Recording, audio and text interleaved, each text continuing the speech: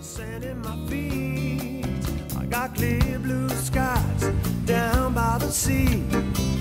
Swaying palms and a tropical breeze. They got fish before my nap, and I like it like that.